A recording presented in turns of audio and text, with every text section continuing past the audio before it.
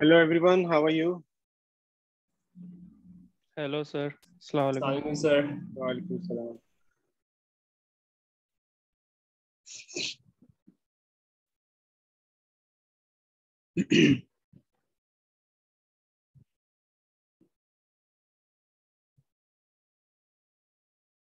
so should we start?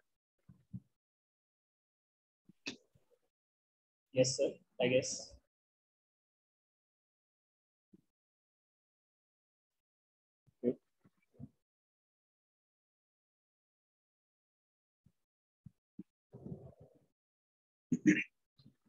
Okay, something about the final exam.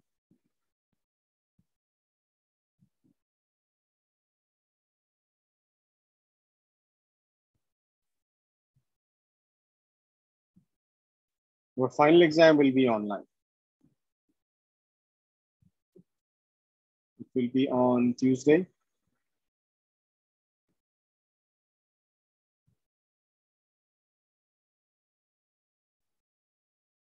August 3, 2021 at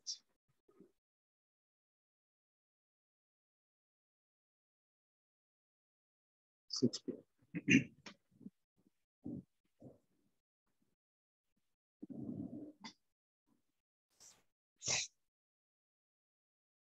okay. So uh, So initially we had this idea that uh, our exam will be on campus, in person, on campus, but now it seems that it is impossible. So uh, we will have our exam on the same time as announced previously, but uh, now it will, be, it will be online. So how would we conduct this exam? So it would be very similar to the one that we, uh, I mean, it, it, be very similar uh, to midterm. So we will have we will have uh, it on Zoom. So I will upload uh, the exam on LMS. Okay, it will open at six. Uh, I'm not sure how long it will be. Uh, we, we already have like two hours and a half for the final exam, but I'm not sure we need to use all of the time. So it will open at 6 p.m. and uh, I will let you know that how long it is. And uh, what you would need to do, uh, you need to uh, log in on Zoom. Uh, keep your cameras on. And um, you will solve the exam on uh, some sheet, for example, on, on sheet of paper. Okay, and then once done, upload the PDF file. Okay. Just one PDF file.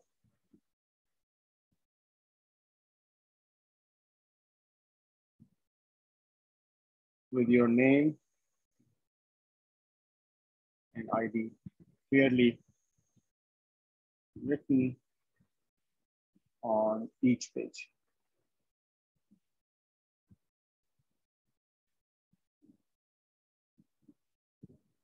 Uh, what do you mean by assignment type or proper exam?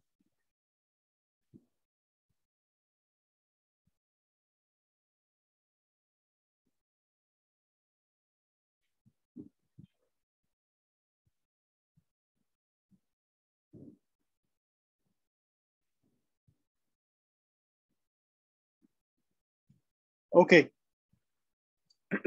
I, I think that's that's uh, clear that um, how we will have our exam. Anyway, uh, there are, I mean, there was one announcement about um, class participation marks for this course. So I have um, sent the link of one of the uh, link, link to a form, a Google form. Uh, so you just need to write down that how many times in in in all the weeks uh, which were for the weeks of this this semester you were present in the class. Uh, so I will use that number to calculate uh, the class participation marks. I have other data as well. That data will, I mean, I have that data from your discussion and emails and, and the questions that you asked during the class and the questions offline and online. So I have that data and I have some idea that who, who are the active students. Uh, and I will correlate with the data and I will uh, assign those marks accordingly. Um, sir? Yes. So regarding the final exam, can you please uh, give us additional 10 or 15 minutes, depending on the size of the paper, to uh, scan and upload the paper? Uh, yes, I will do that. Uh, in fact, I, I, will not do it explicitly. I will uh, give you ample amount of uh, time to write your exam and scan as well. So it, it's up to you that how you decide and divide it. So plan uh, properly. So you know that this is the exam. These many questions are there and this much time you will take to solve them. So take like five minutes to 10 minutes time as spare time uh, where you can scan and create a PDF file and upload it on LMS. Right, yes, so, okay, sir. Thank you. So, so there will be plenty of time.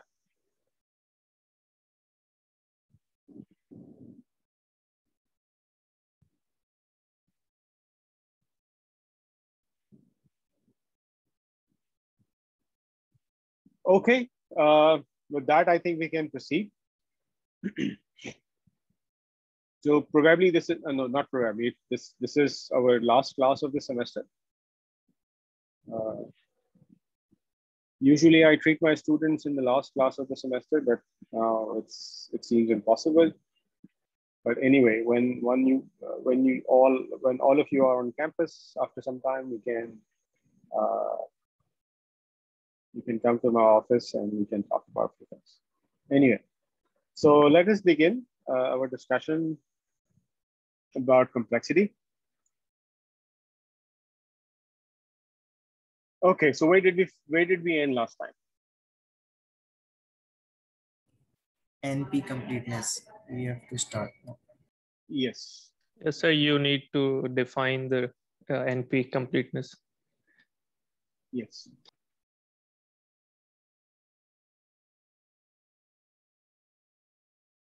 Give me one second.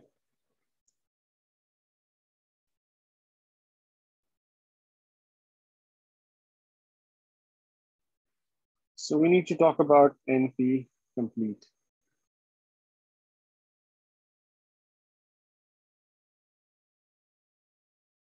Okay. So let me start directly with the definition and then we will, um, I will explain that what, what does it mean. we say that a language B is NP complete if it satisfies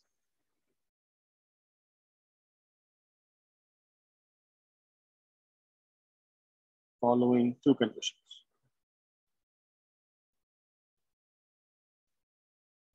First of all, B is in NP.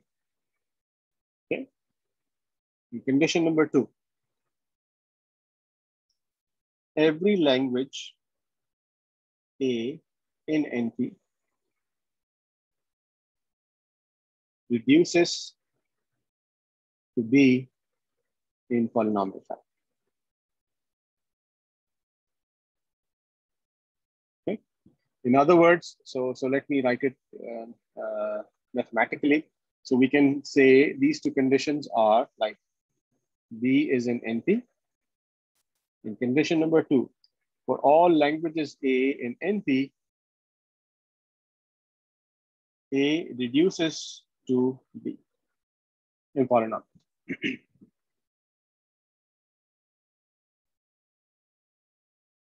okay, so this is very, very simple definition. What does it say? It says that suppose this is the class of languages, which we call NP. Okay, so forget about uh, the class P. Just imagine this is the class NP. So in this NP, we have several uh, languages, infinitely many languages. So many languages. we say that a particular language, let's say this particular language is B. This particular language B is NP complete.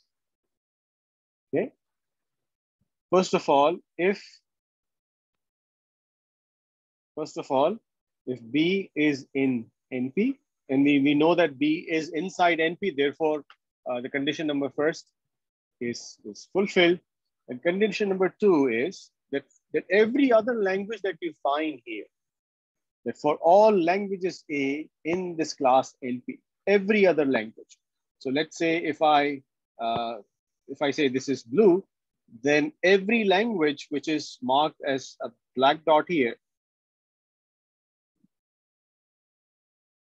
that language will reduce in polynomial time to B. Okay? And I hope now you understand what is the concept of reduction. Do you remember what was the reduction that we that, that we defined?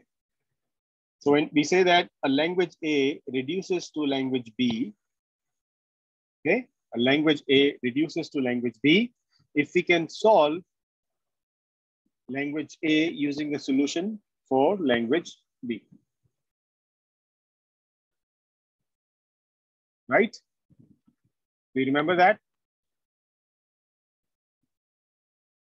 Yes, sir. Okay.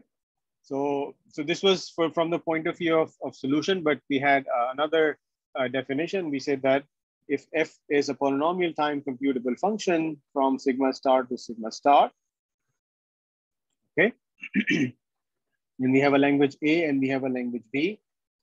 So we say that W belongs to A if and only if f of W belongs to B. Okay, then this function f is called polynomial time reduction.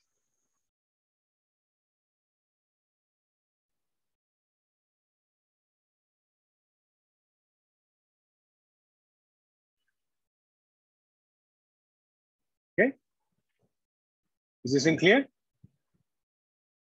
Yes, sir. Okay, so there is there's a question, an interesting question. Uh, the question is that how do we know that every language in NP reduces to A, uh, reduces to B? So how we can make sure that this happens? we will uh, we will explore that how we can test it. Just give me some time and uh, just few minutes, and we will come to that. But before we go there, we have a very simple result. We say that if B is NP complete, so this is theorem. If B is NP complete, okay, and B is a language in P, then P is equal to So remember our discussion over P, NP, P versus NP question. And I said that if you could solve one of those one of those problems which are in NP complete, uh, and, and you show that there exists an efficient and an easy solution to the, one of those questions, then P will become NP. So this is exactly what it means. It says that if B is any NP complete problem, any NP complete language, and we also know that B belongs to, to, to the class P, then automatically P is equal to NP. So it means that, as I showed in the picture, if this is the class NP, and there is one problem, B, and we already have shown that B is NP complete. Okay. And we also show that, so first thing that B is NP complete, and second thing is B is equal to. If this is what we can prove that, that this B belongs to the subset of NP, which is P, then it will mean that boundary of P and NP will collapse. Okay, so this boundary will collapse. And everything that is in P will become NP, and everything that is in, in NP will become P. So this will become just one class rather than remaining two classes.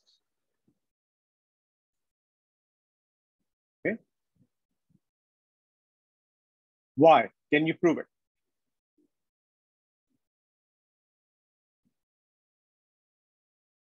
Proof is not difficult actually.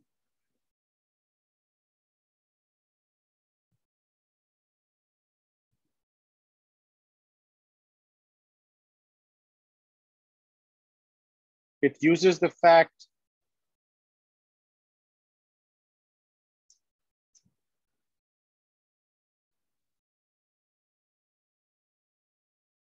if you can if you if you understand this definition then you can prove this theorem.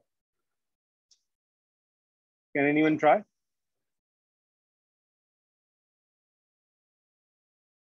Um, sir, yes.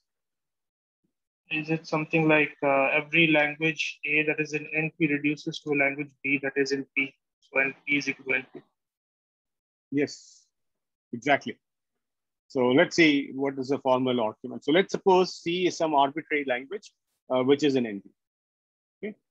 So c is in any arbitrary language which is in np so we need to show that every a in NP is polynomial time reducible to C. Okay, we need to show that every language A in NP is polynomial time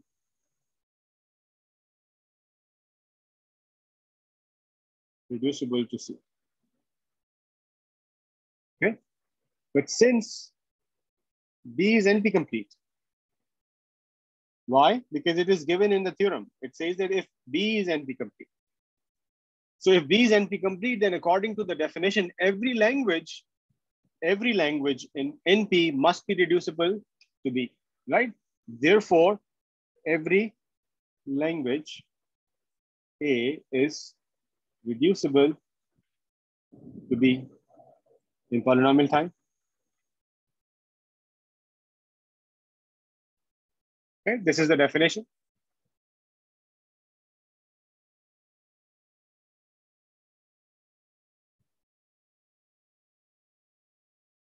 Okay.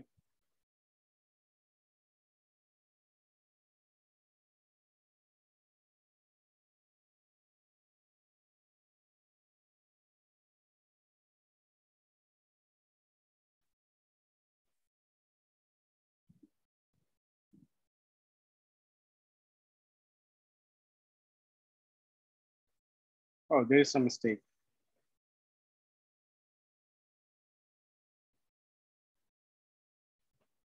Just give me a second.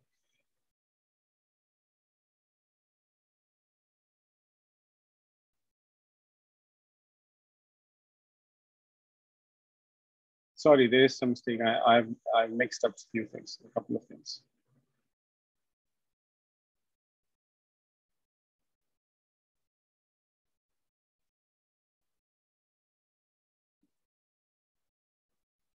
No, this is not the proof.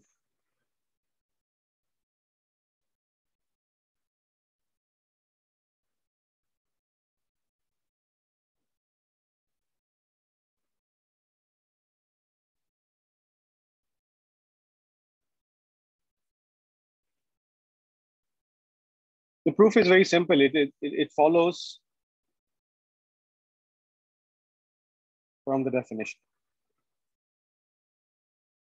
How it follows from the definition? Because the definition says that, so, so the theorem says that if B is NP complete and B is also in P, then P is equal to NP. Right? So if B is NP complete,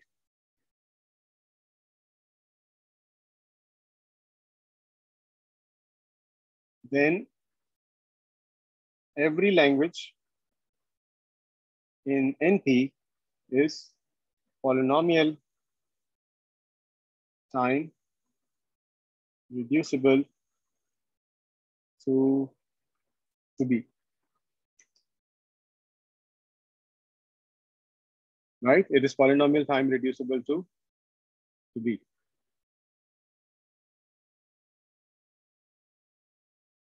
Okay. Therefore,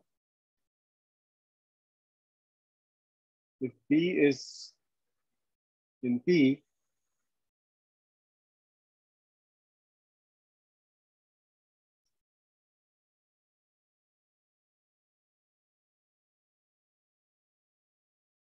then every language A in NP is reducing to reducing to B, which is in P. Therefore,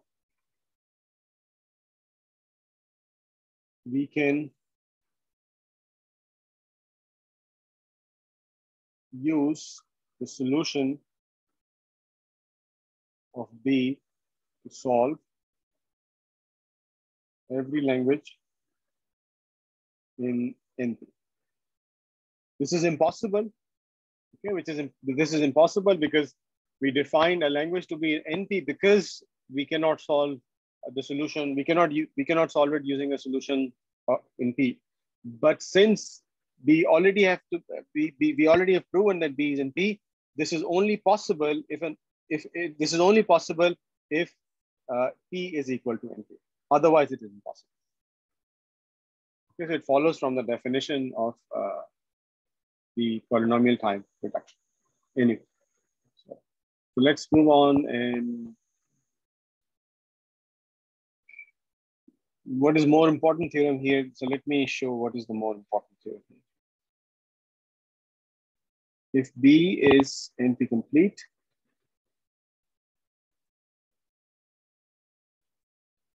and B reduces to C for, for some C in NP, then C is NP.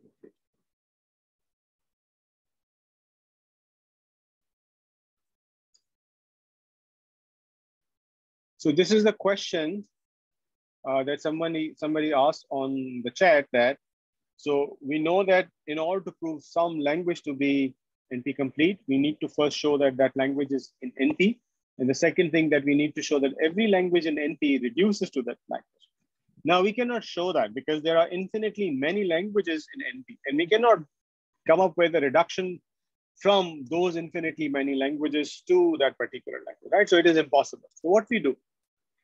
So we we we, we do a little neat trick, and that trick is that actually there's a property of reduction and that reduction says that, so forget about this theorem. So this is independent of this theorem. This property says that if there is a language A, which reduces in polynomial time to a language B, and there is a language B, the same language B, that reduces in polynomial time to another language C, then the language A reduces to language C. This is called transitivity.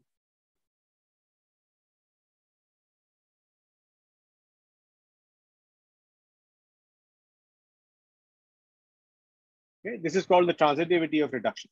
So this polynomial time reduction is a transitive operation. That is, if A reduces to B and B reduces to C, then definitely A reduces to C. Now we can use this transitivity property to prove this theorem. Okay, and this theorem is exactly the question that somebody asked that, that how we how we can show that that some some language is complete. So what we need to know, we need to just know one NP complete problem. If we can show some problem to be NP complete, then we can use that problem to show any other problem NP complete. How we can show that? It's very simple. We would use this transitivity. Okay. So in this theorem, it is given that B is NP complete. So we, we are not required to show that B is NP complete. Okay. So we are we are given that B is NP complete problem. So if we know that B is NP complete problem, and there is another problem C such that B reduces to C. Okay. Then we can show that C is NP complete. Why? Because if B is NP complete, if B is NP complete, this implies for every language A that is in NP, A reduces to B. Okay. But we also know that B reduces to C, that is given from the theorem. Now, these two things are exactly the things that we know from the transitivity. This implies for all languages A and NP, A also reduces in polynomial time to C. Okay? And we also know that C is NP. Therefore, C must be Complete.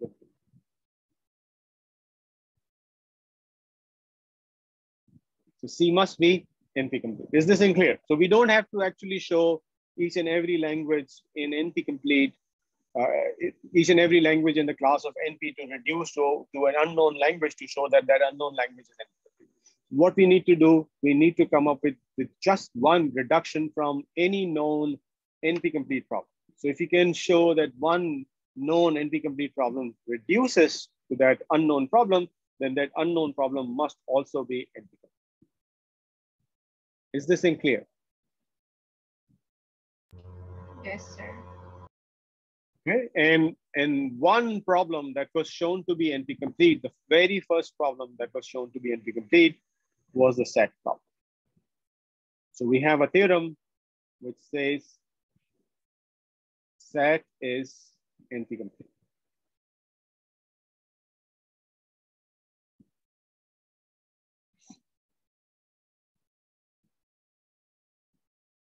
Okay, and this theorem is called the Cook Levin theorem. This is the theorem where uh, Cook and Levin proved that SAT is an NP-complete problem without using this definition of uh, NP completeness, where we need to show that every problem in NP reduces to this one because this is the first problem to be shown as an NP complete problem. Therefore, we do not we did not know any other problem that was NP complete. Right. So this is an important theorem which does not use that definition uh, of NP completeness to show that that problem is NP complete. Okay. So it is important to uh, to read about this theorem, and it is important if you can read the, the proof of this theorem as well. So I, am so this this proof is not part of this course. Uh, this proof is a little bit involved. Uh, I'm not planning to uh, give the proof over here. Not, I will not show you how this this proof is done. Uh, but this Cook-Levin theorem actually shows that SAT is complete. Okay, so I will stop here for the Cook-Levin theorem and we will come back to SAT problem. So we talked about SAT. Yes. So, so if, if you're given any problem and you're asked if that problem is NP complete or not, we have to come up with one uh, problem that is already known to be N NP complete, but yes. that problem must be reducible in polynomial time to the problem that we're trying to figure out. Yes. Right? Yes. So, uh, like, is that something that we have to guess, or is there any way of finding it out every time? Uh, there is no way to guess. Actually, it's it's all uh, creativity. So, for example, when some unknown problem is shown to you, to, to for example, if you're working in some field, and uh, this has happened to me previously in past uh, multiple times, uh, where I was working on some problem. It was uh, it's, it was a new problem, and I did not know the solution of the problem because either we created that problem or that problem came up automatically solving some other problem. So it was a brand new problem. But by looking at the problem, by investigating it, it was clear to us that um, this problem is difficult. Uh, this problem would require a lot more computation power to solve than any other problem, like sorting or searching or something like that. Uh, so immediately we thought about maybe that problem is NP complete. Okay, and what we did uh, we tried to figure out the structure of the problem and looking at the structure of the problem, we thought that maybe some known NP-complete problems that, that we already knew uh, as, as, the suitable candidate to, to reduce from. Okay, so we would we would think about some some of those problems and we would try to reduce one of those NP-complete problems to our problem. And if we could reduce it successfully, okay, and we could successfully show that the problem that the unknown problem that we were working with was also an NP problem. And, and showing NP problem is not difficult part actually. We just need to show that it can be verified. The certificate can be verified uh, very quickly. So if you could do, do those two things, then then it means that the, the new problem that we uh, we I mean uh, faced uh, was indeed NP complete problem. So I have a couple of uh, papers in which we proved some new problems to be NP complete and uh, it, it is not actually it was not actually the difficult part or the main part of the uh, of the papers uh, because those papers are about something else. But uh, that NP completeness result came as a byproduct. Uh, but there is one, especially a couple of papers in which uh, what we did was uh, we we started with a problem, and we say that um, that you can add more details or you can remove some details from the problem. So when I say more details and some details, it's, it's not formal, it's not uh, completely accurate what I'm trying to say, uh, but that, that detail is a little bit involved. So I'm not telling you exactly what, what is that add or subtract. Uh, so what we were trying to do is we were looking at some graphs and by looking at those graphs, we said that, okay, if, if we allow certain properties of those graphs to be included, and if, if we don't include those graphs, right? So we came up with a sequence of those properties. So property one, property two, property three, and so on. And uh, each property would be little bit, uh, little bit more than that, right? So it, it will increase the possibilities in, in the underlying graphs. So we proved that there was a limit, there was a limit, there was a limiting point, and the limiting point was that if you add more to this one, what you will get would be NP complete. And if you go this direction, you will get P. So, so we proved that this is the minimum thing that you can remove. Removing afterwards will make the problem too easy to be solved in P. And if you don't remove it, then the remain the problem will remain uh, NP complete. So this was a boundary, uh, some kind of boundary property. So boundary also appears in one of in, in the title of, of that paper as well. Anyway, so so it's not that how how we uh, show that it's not all guesswork. It, it's it requires some practice. It requires uh, experience with working with such problems and uh, more problems that you will study, uh, you will figure it out that how to reduce it. So I think I, I mentioned this uh, author Johnson. Uh, he was one of the authors who wrote about, uh, who wrote a comprehensive book about P and NP complete problems. Uh, I think the book, book was published somewhere in 78 to 79. 1978 and 1979. Uh, at that time, the concept of P and P complete and this question about P is equal to NP was very new. It was around like maybe 10 years, something like that. And uh, even by that time, uh, hundreds of problems were known to be NP complete. So, so Johnson is one of the authors. I, I forgot about the name of the other author. So these two authors came up with, with a detailed discussion about what is P problem, what are P problems, what are NP problems, and how do we classify P in, in NP. And then they gave a comprehensive list of around 250, 300 problems, which were known to be NP complete at, at that time. So they did not just provide a, a name of the problem that this is an NP complete problem, rather they showed that why that particular problem is NP complete. So they gave a proof that why that problem is NP complete. So if you are interested in this, uh, this area, and suppose you are working in algorithms or in complexity, and uh, you're solving any, any problem that you might face, for example, from data mining or machine learning or from any, any area of your interest, and you come to a conclusion that the underlying problem is too difficult to solve, or whatever attempts you are, uh, I mean, I mean, all of your attempts have been futile, uh, then probably that problem is difficult problem. And, and, if you could mathematically show that that problem has been complete, uh, then you don't have to spend so much uh, time in finding an exact solution rather than approximate solution will be, will be good enough. So by looking at those proofs, like 300 proofs or maybe more by now, now at this time, thousands and tens of thousands of problems are known, are known to be NP complete. And every day there are many problems which are shown to be NP complete and people don't even write uh, papers about it. They become byproduct in one of the papers. So if, even if you prove that some problem, some unknown problem is, is NP complete, it is not a paper worthy kind of contribution. So So you just read those proofs and see that what are the structure of the problem that they are working with and how they are reducing it. And you can try one of them. So first attempts, maybe uh, you may fail in first couple of attempts, then you will have a good idea that how to, how to proceed.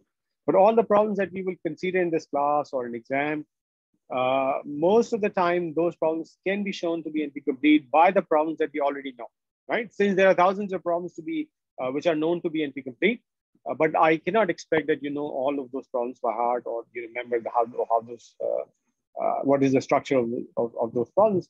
Rather than we will focus on few problems, maybe five problems, four problems. And uh, if you know the structure of, of those four or five problems, then you should be able to prove a lot of other problems to be uh, to be NP complete. Uh, and one key thing is that once all attempts fail, okay, suppose that you are in, in, a, in a fine, you, you are in a position that you have tried all uh, things and nothing works, then as a final resort, this satisfiability problem can be used to reduce from to show that the unknown problem is NP complete. So most problems that you will see which are NP complete, so you would find SAT on the left hand side, and then you would see this one, and then you would have this new uh, problem X, this unknown problem X, and you would also prove that X is an NP to show that X is NP complete. Sir? Yes. Sure, we know how to uh, prove if any problem is NP complete or not, but is there any way to find out if the problem is not NP complete? Yes. Very simple. So there are two things for NP for any problem to be NP complete. What are those those things? First, that problem has to be NP, and every problem in NP must reduce to it. If one of these two conditions fail, the problem is not NP. Yes, but the second condition is not too easy to check for, right? Yeah, I, I, agree. I agree that second condition is not easy to check, but uh, but for the for the next for the second condition, we have uh, the transitivity property. Suppose you pick one um, NP complete problem and you try to reduce to it, Re reduce that NP complete problem to your unknown problem. And if, if you fail in reduction, then this is an indication that this problem may not be NP complete. But the biggest indication is that that problem is not in NP. If you can show that the problem is not in NP, then you are you are good. That the problem is not NP. Okay. Okay, but I understand. Yeah, it's it's not straightforward. Uh, it, it requires some work. Anyway, so do you do you uh, remember what was the SAT problem? The SAT problem is that given any Boolean formula,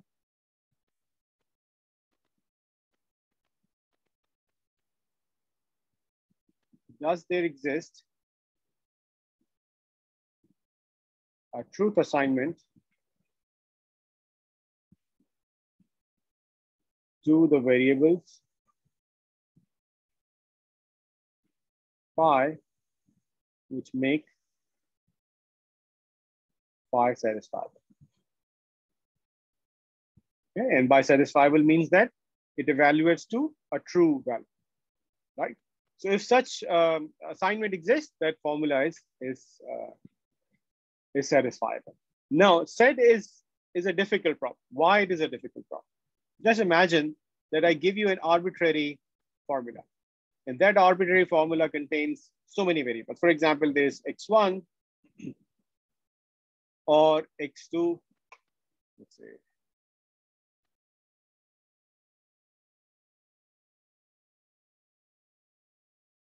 or x2 complement or x3 or x4 complement, let's say, and x5 complement or x6 or x7 complement and x1 or x2 or x3 complement or x4 or x6 and uh, x2 complement or x3 complement and and so on and so forth right so on and so forth.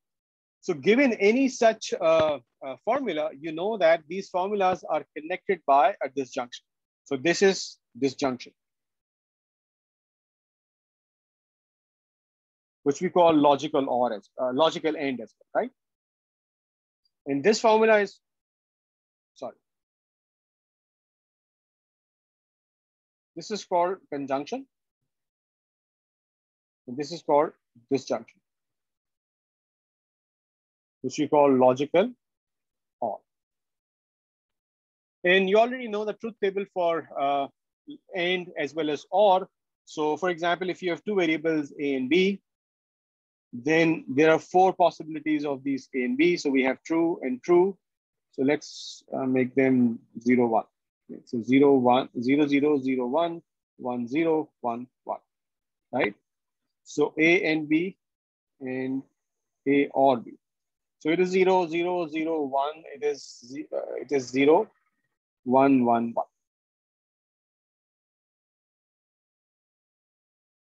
Right?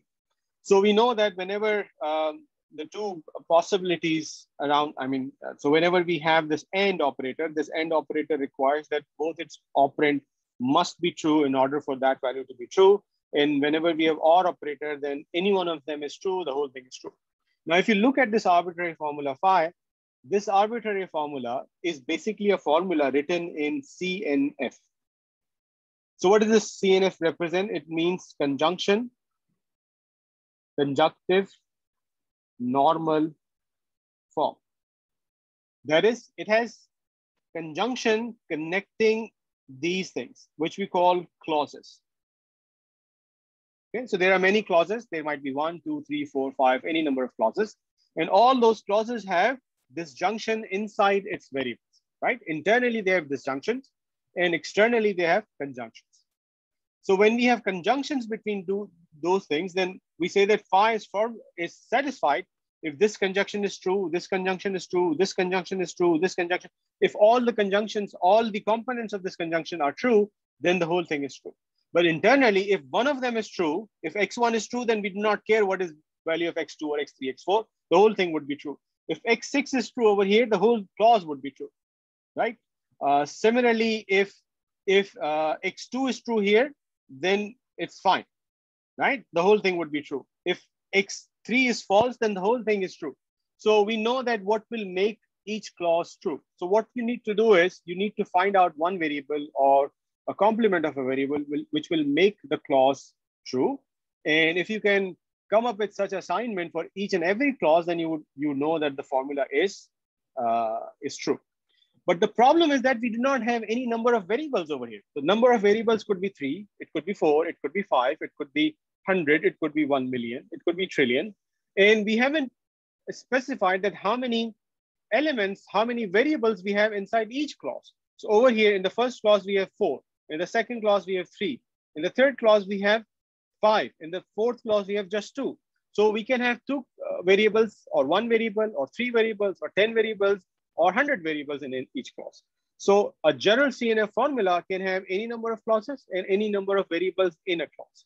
So if I say, if I ask you to write a program in Java or C++ or Python uh, that takes such a formula as input and comes up with a solution which says that if you assign x1 true, x2 false, x3 false, x4 true, and so on and so forth, it will satisfy this formula, then it is not an easy task, right? You need to check each and every possibility, right?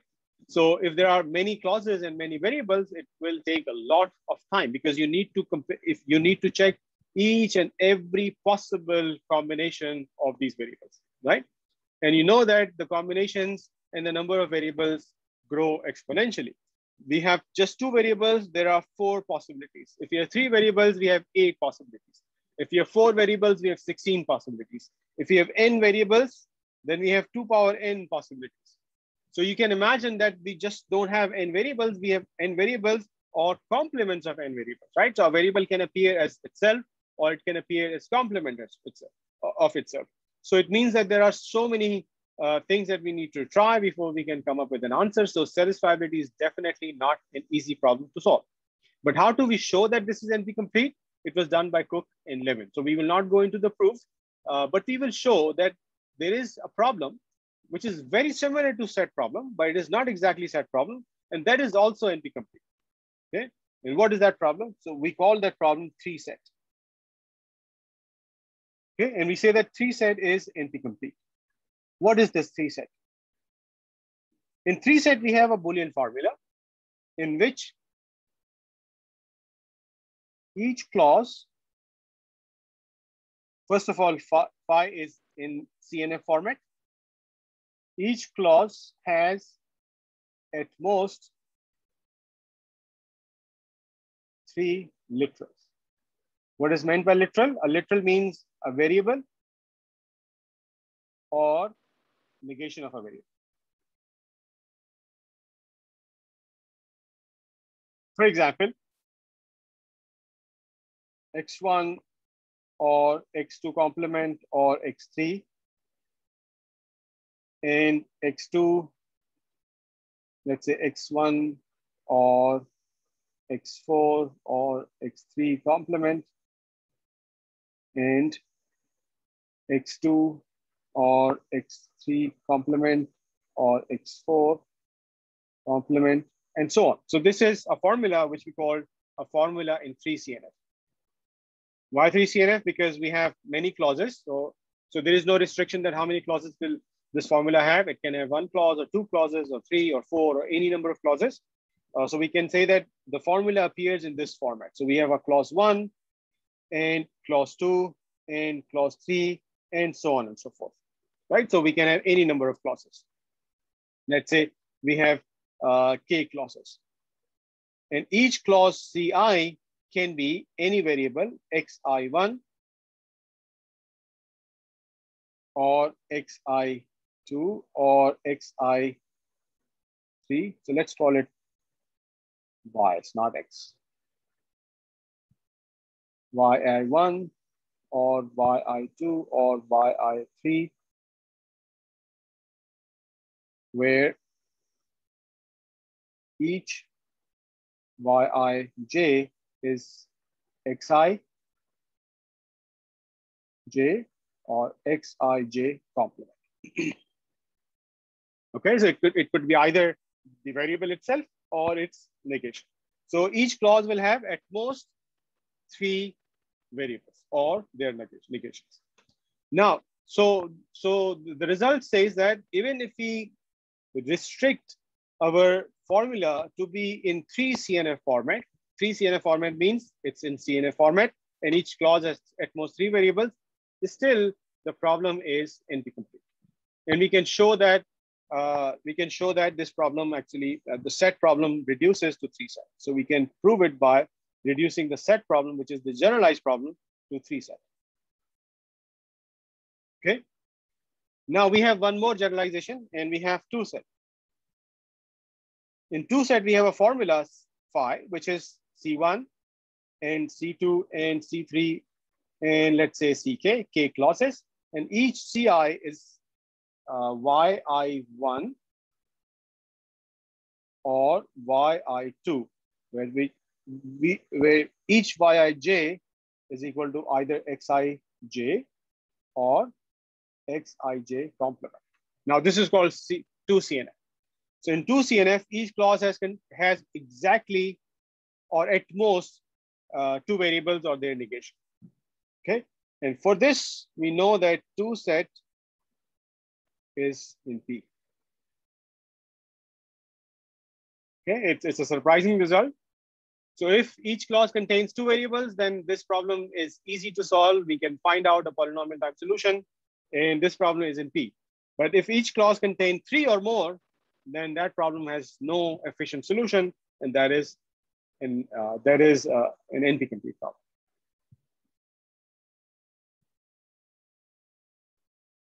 Okay. Okay, sir.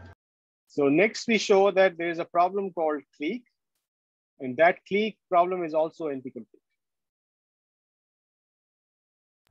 Sir, should we know the proof for uh, SAT and 3SAT? No. Oh. If you are interested, please read the read the proof from the book. Uh, but the Cook-Levin proof is little bit involved. Uh, it's it's a bit difficult. So if, if you skip it, that's fine. That is not included in the course. That is not. Uh, I mean, I will not ask any question about it. I will not ask about uh, ask any question about the proof of this uh, theorem in, in exam. But if you're interested, please please go ahead read it.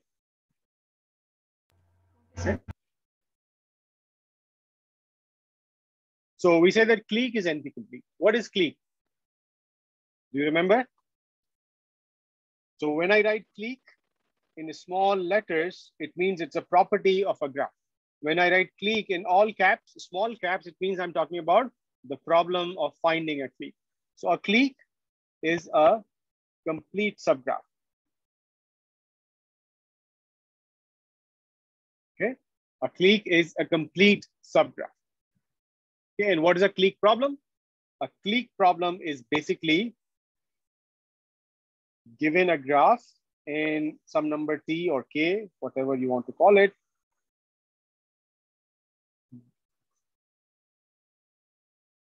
The graph G has a clique of size at least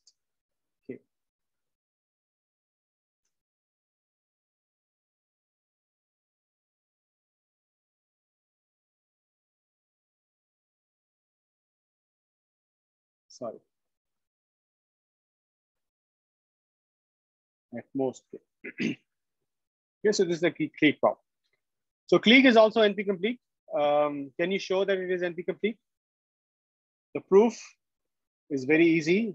I will uh, give a proof. Uh, and in the proof, we, we reduce three SAT to clique. Okay, we reduce three SAT to clique and I will show you how we do it after we come back from uh, the break. Uh, so let me tell you a few other problems which are uh, NP complete and uh, then we will come up with a proof. So there's a problem called vertex cover. Do you know what is a vertex cover? No, sir. Vertex cover is a sim uh, the problem where we have a graph and a k, and we say that G is an undirected graph.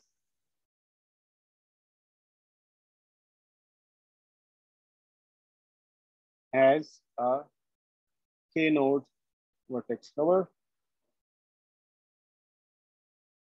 When I write it in small, it means the property. When I write it in cap, uh, it means that um, it's the name of the problem. So what is a vertex cover? So if we have a graph G, then the vertex, so if, if we have a graph G, which is uh, set of vertices and edges, and it is an undirected graph, then we say that a vertex graph of G is a subset of the vertices of G with, where uh, each and every edge from the graph touches one of the nodes in this graph, one of the vertices in this graph. For example, let's consider uh, this, this graph. Okay. Now, if I say that uh, I have this vertex and I have this vertex. So if I say that this is A, B, C, and D, so V contains A, B, C, and D. So if I say my vertex cover, VC, is B and D, then this is V, this VC is a subset of V. Okay, B and D are the vertices from the entire graph. But you can see that each and every edge that is in this graph, each and every edge that is in this graph. So let me show this these edges in different color. Each and every edge that is in this graph has an end point in this set, right? So there's an edge AB, so B is here. There's an edge BC, so B is here. There's an edge BD where B and D both are in here. There's an edge AD, so D is here. There's an edge DC, so D is here. So e, for each and every edge that you find in your graph, one of the endpoints of that edge is in this set. If you find such a graph, that graph is called a vertex cover. Okay. Now every graph has a trivial vertex cover, which you where you include each and every vertex of, of the graph. but that's a trivial vertex, right? So what we need to find out, we need to find out a vertex cover of smaller size, right? So if I include all vertices A, B, C, D, then definitely this will become a vertex cover, but this vertex cover has size four. So is it possible to have a vertex cover of size three? Of course. Is it possible to have a vertex cover of size two? Of course. B and D is a vertex cover of size two. Is there a is, is it possible to have a vertex cover of size one? In this particular graph, no. In some graphs, yes. Okay, so let's let's look uh, look at this graph. This is sometimes called star graph. Okay, so if I in if I let's say I call it A. So if I say my vertex cover just contains A, then this A is basically a vertex cover because this this A is an endpoint to each and every vertex of this graph, right? But suppose I have this edge here and this edge here and this edge here.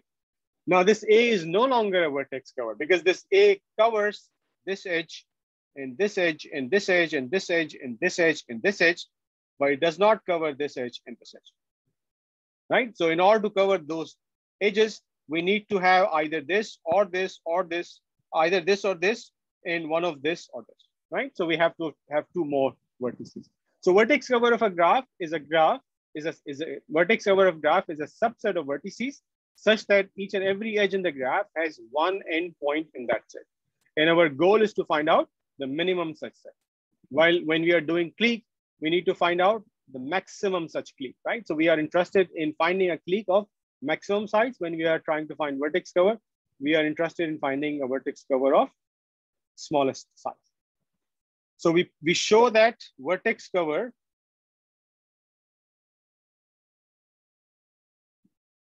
is in is NP complete. Okay. And how do we prove that the vertex cover is NP complete? There are multiple proofs for that. We reduce three SAT again to vertex cover.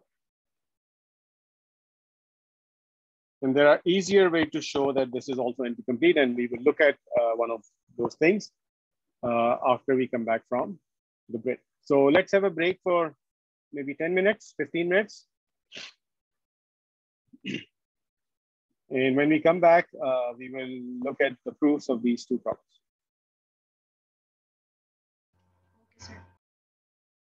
Okay?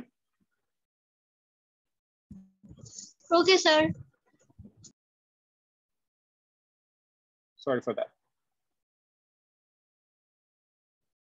So in this particular graph, I've identified three vertices, x1 complement, x2, and x2. So this x2 is from clause one. This x1 complement is from clause two, and this x2 is from clause three. So it says that if we pick this x2, which is here, and if we pick this x1 complement, which is here, and if we pick x2, which is here, then this will satisfy. And you can check with that it will satisfy.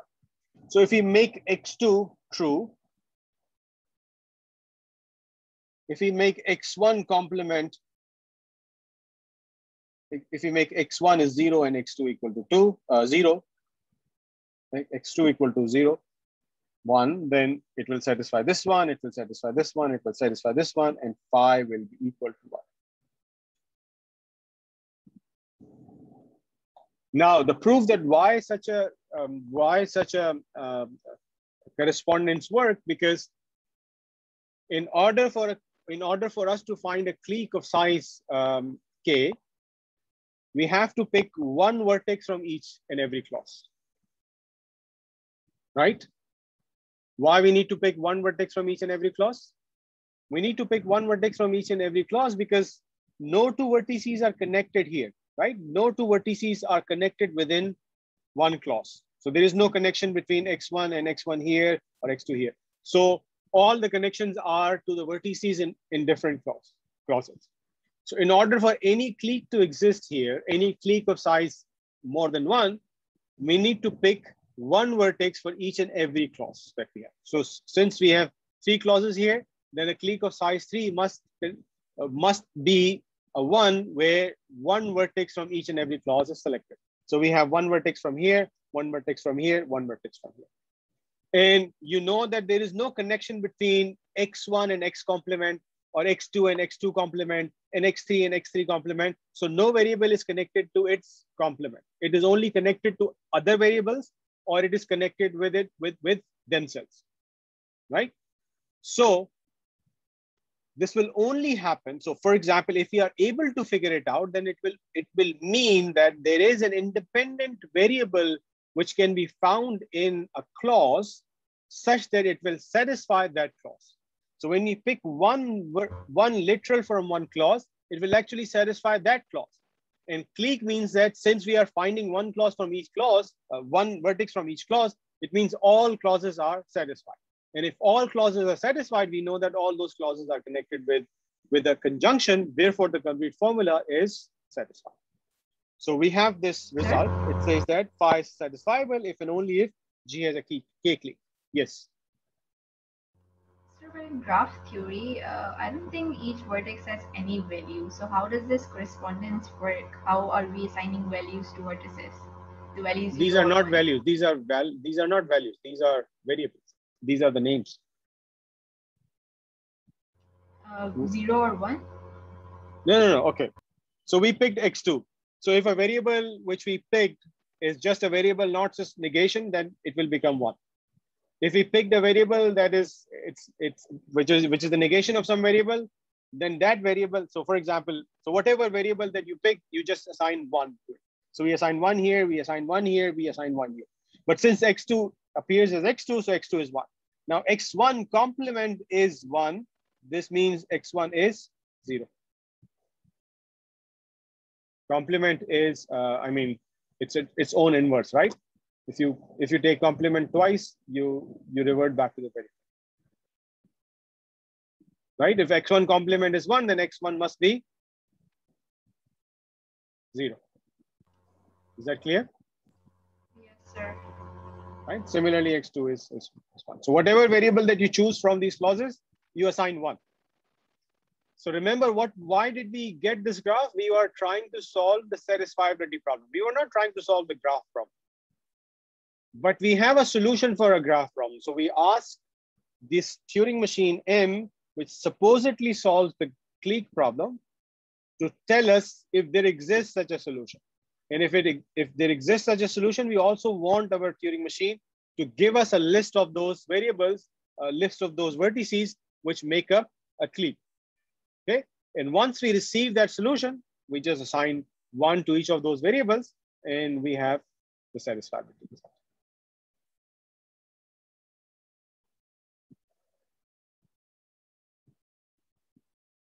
Okay, is this in clear?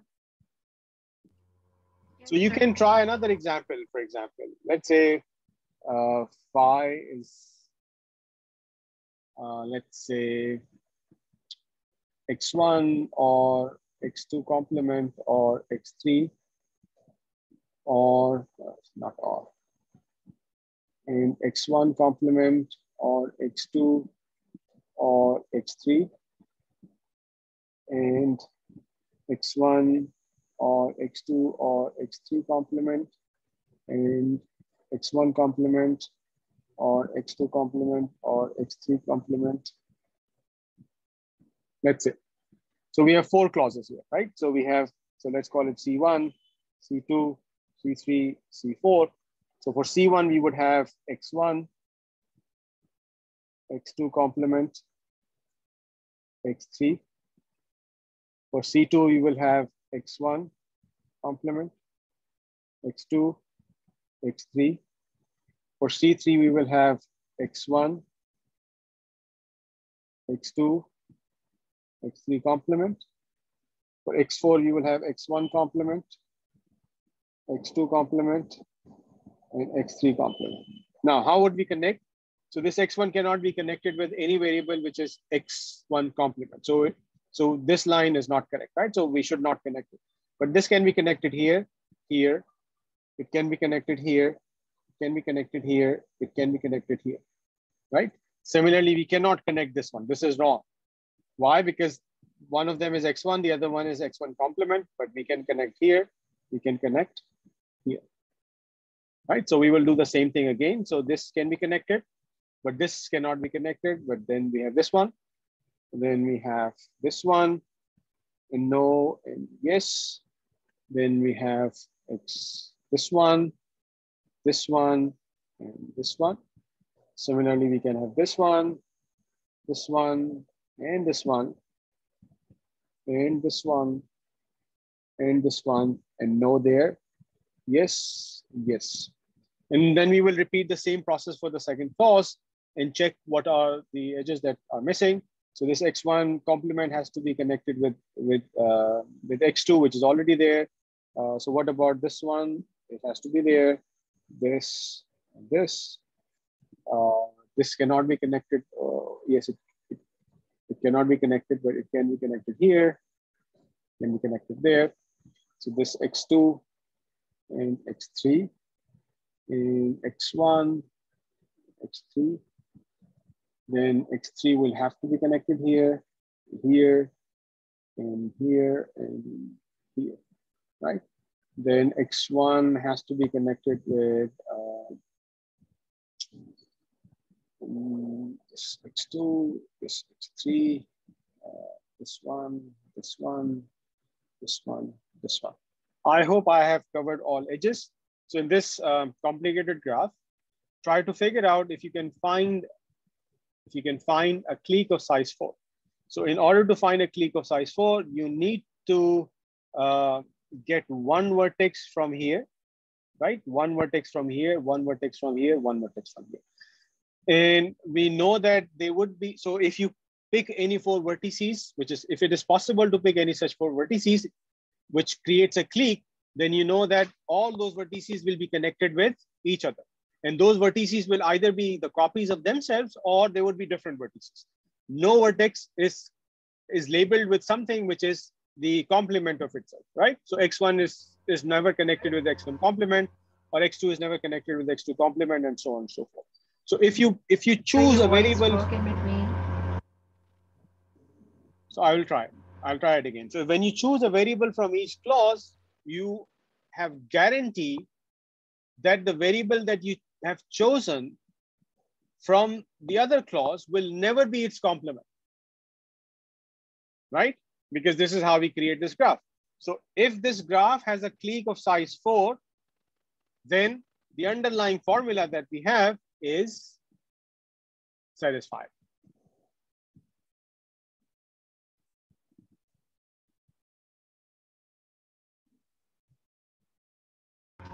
Okay.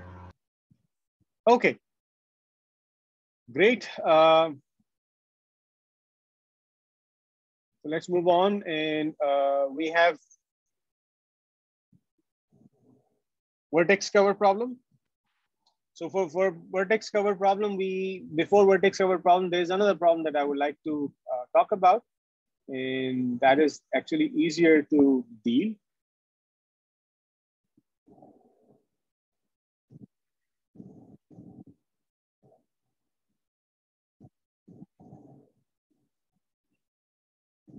Okay, so we talked about vertex cover. So let's talk about another problem which is very related to vertex cover, which we call independent set. And once we have independent set, understanding about independent set, we will know that they are connected. So what is an independent set? So independent set problem says that for a given undirected graph,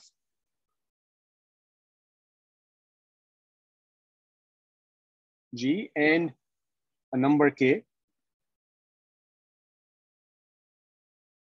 So if you have an if, if you have an undirected graph G and a number K, uh, we should recognize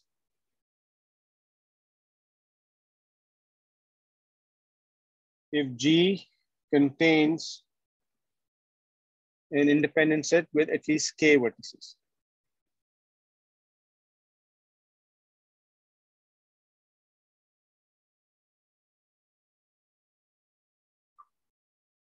Okay, so what is an independent graph?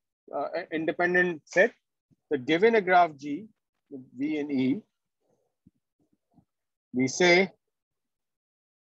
a set of vertices of V, that is S is a subset of V, is independent if no two vertices in S are joined by an edge. Okay, so let's take an example. Suppose this is a graph.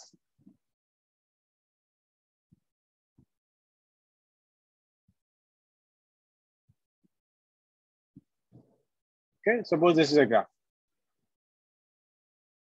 If you pick this vertex in this vertex in this vertex,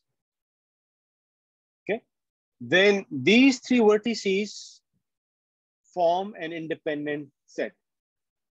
Why?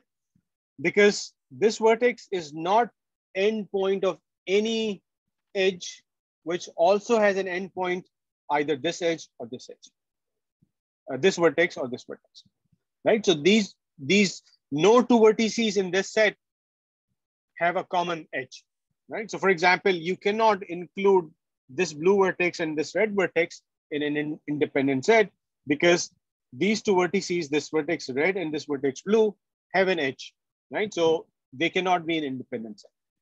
So these vertices in red are independent set. They form an independent set. Okay, so remember when I said what is a vertex cover? A vertex cover is a subset of vertices of graph and undirected graph such that such that each and every edge in the graph has an end point in the vertex cover. Okay, now the independent set is a set of vertices where they are not common. So there, there is no edge in the graph which is common to uh, both, uh, common to any vertex, any any pair of vertices in in in, uh, in in that set, right? So there is no edge that joins uh, any any of these two vertices because this red vertex and this red vertex are not joined. So no two vertex vertices in this this set are joined by an edge. So when we have vertex cover, we need to find a, vert a, vertex cover of minimum size. When we are doing independent set, we need to find an independent set of maximum size. So we need to prove that independent set is also NP complete. So we show that independent set is NP complete. And how can we prove it? We can prove it using three sets.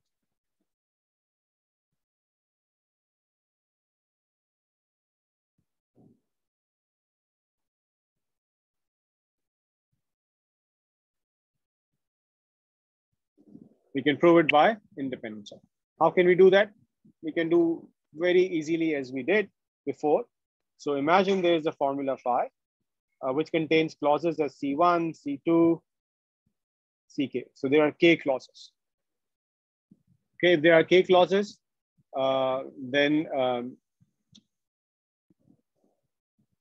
then you know the number of uh, variables in that, right? Now what you can do, you can correspond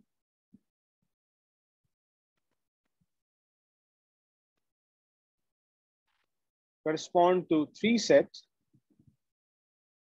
in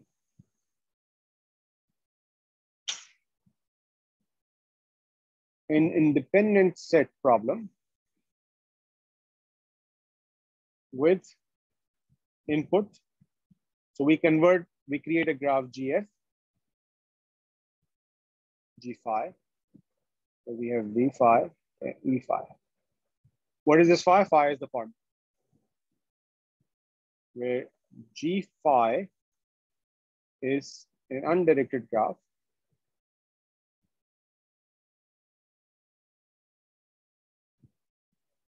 With a set of vertices which are equal to, so let's suppose there are k clauses and each clause contain, uh, so Ci contains Ti1 or Ti2 or Ti3. So it will be Ti1, Ti2, and Ti3.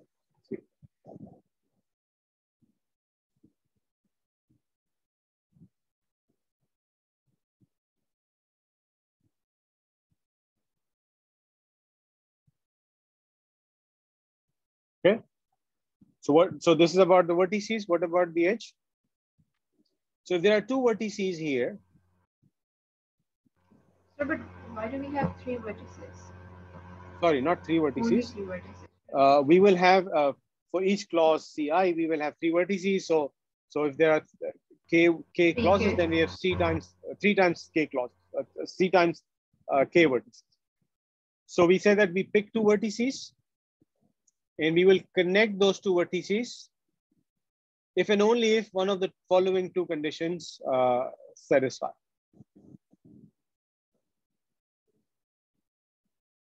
Okay. And uh, what is that condition? And that condition is that those two variables are similar. Okay, and if those two variables are not similar, then we connect. So for example, there's a variable x1 and there's a variable x1. Uh, just give me a second. There's some insect on my table.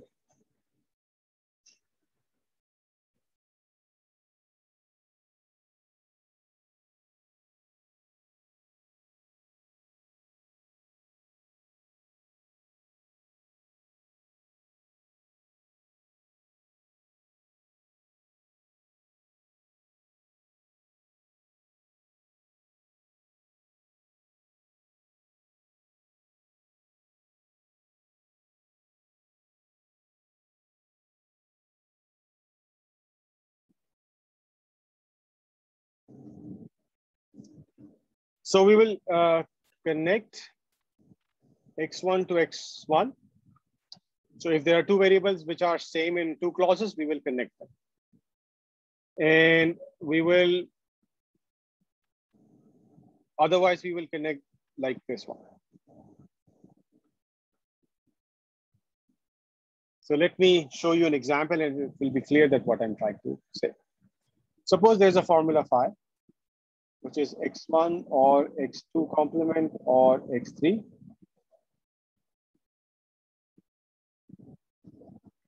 x1 or x2 complement or x3. Then we have x1 complement or x3 complement. Let's say we, we do not go with 3SAT and it's fine. x1 or x3. So what we would do? We would create a graph.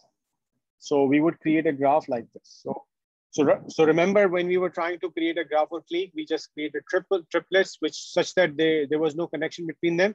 But this time we would create a graph in which each subgraph would be a clique in itself. So we would create a clique for this, we would create a clique for this, and we would create a clique for this. So we have x1 here, we have x2 complement here, and we have x3 complement. So all these three vertices are from the same clause. So all these three vertices would be connected. Then the second clause, second clause contains x1 complement and x3 complement. First of all, there are just two vertices, so this will this is the clause. Now we have x1 and we have x3, so these will be connected. So this is the first thing that we will connect, right? So within the clause, we will connect each vertices, vertex with every vertex. Now we will connect the vertices outside uh, their uh, outside the clause. Now x1 will be connected x1 will be connected with x1 complement because it is outside. Okay. x3 will be connected with x3 complement and this x3 will, complement will be connected with x3 complement as well. Now this is x1, so this x1 will also be connected with x1 complement. Remember, we are not uh, we are not connecting this x1 with x1 or x3 with x3 and so on so forth. We are not connect doing it. Right? Now, once, once we find such a graph, what we need to do, we need to find out, we need to find out an independent set. If we find out an independent set in this graph, then that independent set will correspond will correspond to satisfiable. Okay, so let me pick uh, an independent set. So let's suppose I pick this vertex and this vertex and this vertex. Are these three are these three vertices creating an independent set? Yes, because there is no edge between this x2 complement with any of the other red vertices. And the same thing is for uh, x3 complement and x1 over here, right? So no two vertices which are marked as red have any edge between them. So this is definitely an independent set. And this is an independent set of size what? This is an independent size set of size three. And this three corresponds to the number of clauses in our formula. Okay, so the what is the size of independent set here? Size is three. And uh, what, what is the number of clauses in our formula? Three. So we have an independent set of size three, and that is also the size of uh, the number of clauses. So once we have uh, these vertices selected, just assign one to each one of uh, these variables. So we have x1, so x1 equal to one, right? So we have x2 complement, so x2 complement is one. And x3 complement, so x3 complement is one. So this implies x1 is one, x2 is zero, and x3 is equal to zero. So this is the values, these are the values which will satisfy this Boolean formula. Okay, so we say that phi is satisfied or satisfiable if and only if this graph G phi has an independent set of size k. What is this k? K is the number of clauses in our formula. Okay, and why this is why this is the case that this is going to happen? Because we said that this is an independent set, right? So if this is an independent set, it means that these are not these are never going to be connected. So x2 is not connected with the x3 complement or x2 is not connected with x1. Now, since they are not connected, it means that changing the values of one of them will not impact the values of the other thing. So if we have set a value which is uh, with for one of those variables, then since they are all connected in, in a clique form, so whatever the number of uh, what, what whatever the number of variables we have in a, in a clause, since they, they they are all connected, therefore one of them selecting one of them will satisfy that clause. And making sure that we have the same number of uh, vari uh, same number of variables in the independent set as the number of clauses it means that each clause is independently uh, satisfiable. And if each clause is satisfiable, and since all clauses are connected by a conjunction, so the whole formula is satisfied. Okay, now let's come back to our vertex cover problem. So the vertex cover problem is a problem where we find out a set of vertices from the graph such that um, such that it covers each and every edge of uh, each and every edge of the uh, of the graph. So what we can do, we can, we can actually reduce the independent set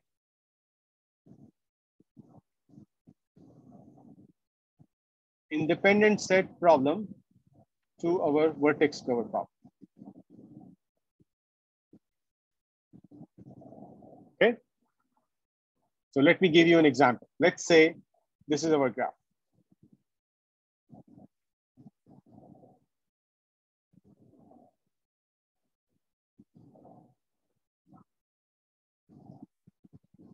This is just an example graph. So in this example graph, I will color some vertices blue and I will color some vertices red. Remember, this is an undirected graph. So my claim is that this these vertices in red form a vertex cover. And and the vertices in blue form an independent set.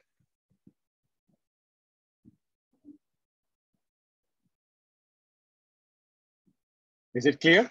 So you can see that once you select all those vertices which are in blue, it forms an independent set because there is no edge between any of these two vertices, any pair of vertices in that set.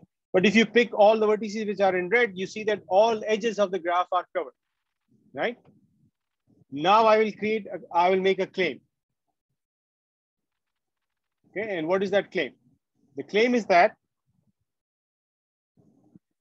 that a graph G has an independent set with at least k no nodes or vertices.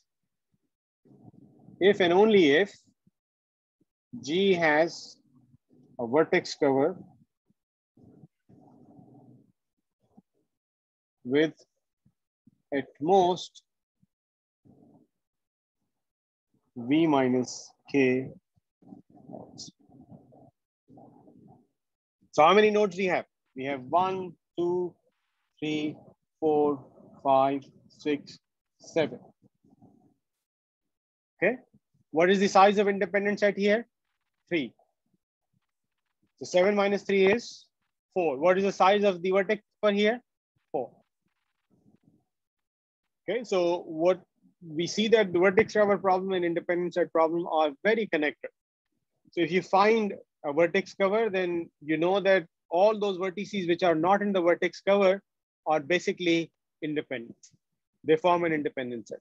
And if you solve the independent set problem, then you know that all those vertices which are not uh, in the independent set, they are in the vertex cover. And interestingly, since both vertex cover and in, in independent set are NP complete, then by definition, you can you can reduce any problem to the other one. So you can remove reduce vertex cover to independent set. You can also reduce independent set to vertex cover. So it depends on how uh, you see it. How do you look at it? Okay. Uh, so I think we should end here. Uh, I just need to give one uh, definition uh, and then we will not go into detail of that definition. That definition is about NP hard problems. So we say that a language A is called NP hard if there's only one condition for all languages B in NP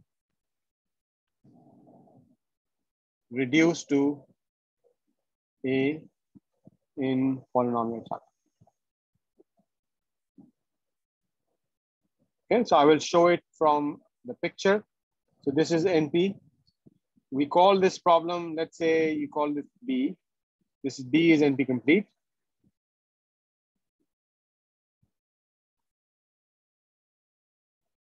Because every problem reduces to this problem, right?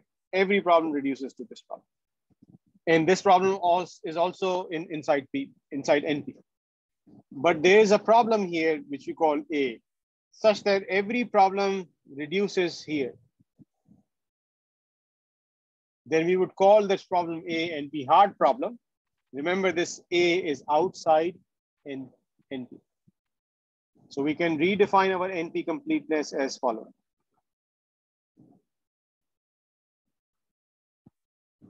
First of all, uh, we say that a problem X is NP complete if X is NP hard, two, X is. We will not uh, uh, go into the detail. Uh, I think we should stop here. Uh, this requires a lot of discussion, but we don't have, unfortunately, we don't have enough time. So I will end this lecture here. So if you have any questions, please let me know. Um, if there's any other question related to exam or quizzes, um, you can post it on LMS or you can send me an email. There was a question about N minus one quizzes. We will still go with this, this N minus one quizzes regarding the grades of class quiz and midterm and problem set. I will post them. Uh, with the results of final exam. And final exam will be online. It will happen on the same time which was planned for the uh, in-person exam, but this time it will be now online. Uh, but make sure that you have, um, uh, I mean, electricity. I mean, you cannot make sure that you have electricity, but let's say you are, if you're using uh, a tablet or, or a computer, then make sure that those are already charged, fully charged, and you have some arrangement for the alternate internet, right? And uh, our exam will not be for the full time, two hours and a half. Uh, maybe it will be a bit shorter. Uh, and, and we will have enough time for you to scan your solution and upload on, on. Okay, so with this, I, uh, I, I would stop here. I think this was our last class. And thank you very much for this class. And yeah. Thank you so much, sir. Thank you, sir. Thank you, sir. sir. Thank you. Thank you very so much for all Thank your you, sir. efforts. I just have one question, if you could allow me for that. Sure. Um, sir, what would be the weightage for the final exam? I think I've already put it in the syllabus, right? Yes, I, I saw that, and it uh, it was written that it's about thirty percent. But sir, wasn't it previously uh, around twenty two or twenty four percent? Yeah, I had to increase it because uh, we couldn't do as many problem sets as I thought we would be able to do, and as many quizzes as I thought we would be able to do. So I increased the final uh, little bit. So it's just thirty percent now. It's not it's not significantly higher than what I actually thought about it, but it's thirty percent. All right, sir. Um, okay, sir. Okay. Uh, sir, Anything else? Yes. uh, sir, actually, I wanted to talk to you about uh, my assignment submission, Okay. What do you want to talk about?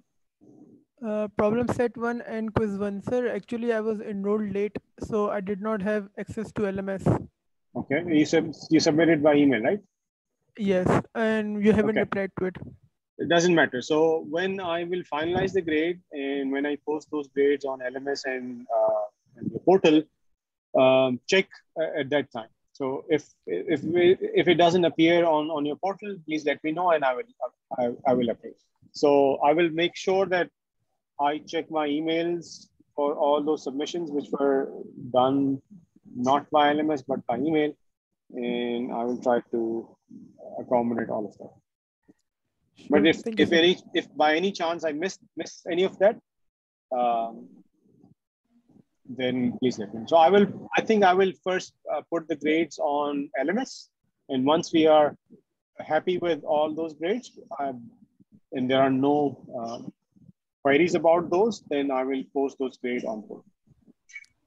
Sure, thank you, sir. Sir, my quiz three marks are not uploaded yet. Sure, I will do it. Sir, the marks for quiz four are also not uploaded yet. Yeah, I haven't graded quiz four. I will grade. Uh, I will grade it soon, maybe today or tomorrow. Okay, sir. Okay, anything else? So Is it next, to come online uh, at What? the time of exam? yeah, I will be online. I will be, yeah, I will be online.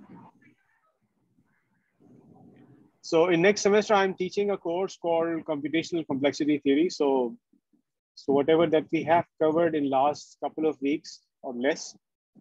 So there's an entire course on that uh, topic.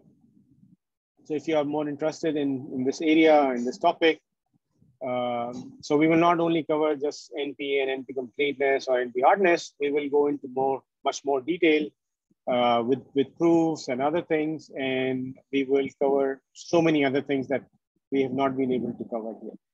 So that is a 500 level course. Um, and that is an elective. So if you are interested, you can, you can take it. So this course, that course would be open for all uh, graduate students. Uh, but I think some of the undergrad will also be able to take it.